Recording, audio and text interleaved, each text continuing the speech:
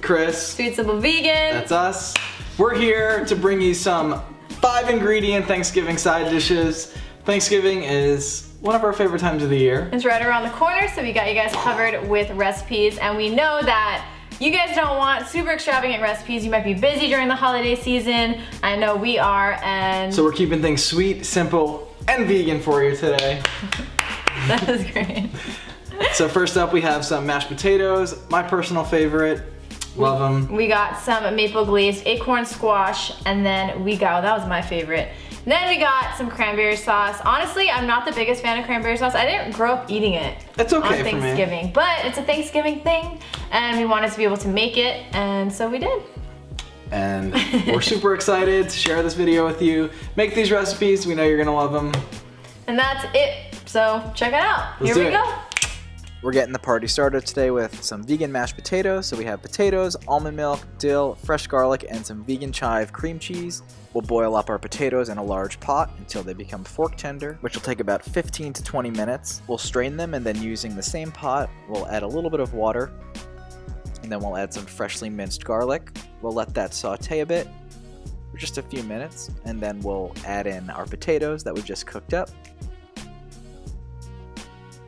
We'll mash them up real good. If you don't have a mashing tool, you can always use a fork. Once they're mashed, we'll add in some almond milk, some fresh dill, and then the secret ingredient, which is some vegan chive cream cheese. We use the Kite Hill brand, but uh, you can use any other you want, and you can always add any other herbs that you want as well. But we find that one is best. We'll just finish it off with some salt and pepper mash it up a little bit more just so it's nice and creamy. And once your potatoes look like so, you are ready to go. I'm going to be completely honest, mashed potatoes are my absolute favorite Thanksgiving side, and I can eat an entire bowl and be totally happy with it. Top it off with some fresh dill and enjoy. And next up, we're going to make a maple glazed acorn squash. You need acorn squash, brown sugar, pumpkin pie spice, maple syrup, and orange zest. So in a large bowl, we're going to just mix together all the ingredients. So we have acorn squash, the maple syrup, pumpkin pie spice, brown sugar, and the zest of half of an orange. It's easier to do if your orange isn't cut, but ours, ours was cut for the beginning portion of this recipe video, so bear with us. We're going to mix that together until everything is well coated, and then we're going to transfer it onto a lined baking sheet. We'll link our silicone baking mat down below if you guys want to check it out. And then any remaining liquid, we're going to just spread it on top to make sure all of the acorn squash is nice and glazed. Top it with salt and pepper if desired, and then we're going to pop it into the oven. And then we actually took the seeds from the squash and we washed them, and we are going to roast these and top the squash with them. So just spread them out onto a baking sheet, and we just topped it with salt and pepper. You can also add any other spices of your choice. Pop that into an oven to bake until golden, and you've got yourself a crunchy and salty snack. So once the squash is done, we're going to top ours with a few things. So we have some orange slices, we have sage, and we have some cranberries.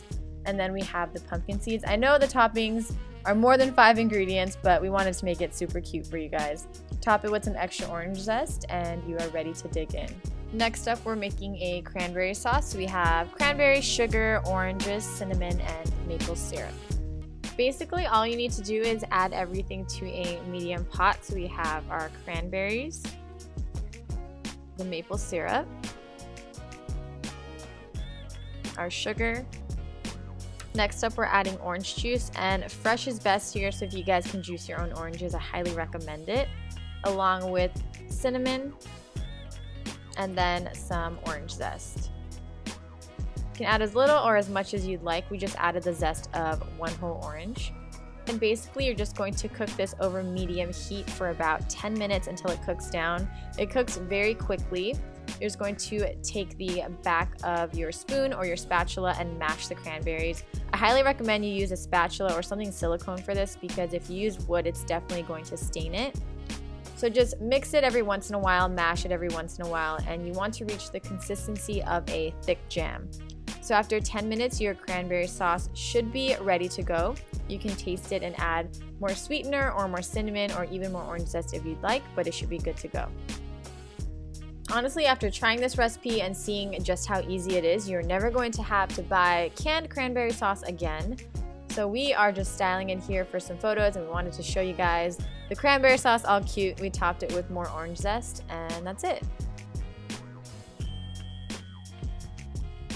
Thanks for watching, y'all. We hope you enjoyed this video and try out some of these five ingredient recipes. I'm not sure why I pointed this way, but let us know if you're team mashed potatoes, team acorn squash, or, or, team cranberry sauce. Or if you're team something else on Thanksgiving, let us know what your favorite dish is. I think for for Thanksgiving, I'm gonna get a shirt that says team mashed potatoes. Wow, it, so- wow. I'm gonna be team, well, pumpkin pie is my all-time favorite out of everything. So maybe I'll get a team pumpkin pie. We'll can get it, go right? head to head. I don't know how.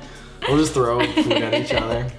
Anyways, Thank you guys for watching. We hope you loved everything. Did I say that already? I think so. well, right. we just hope you enjoyed this video. Try out these recipes. Give us a like. Say hey down below. Hit that bell notification. Subscribe. Beep beep beep. All the I think that's everything. Again, I'm Chris. Jasmine. We're Sweet Simple Vegan, and we post videos every Wednesday and Friday, sometimes, sometimes Monday. You know the whole crazy. thing. All right, we gotta go, guys. So We're we'll out. see you in the next video. Bye. Bye. to figure out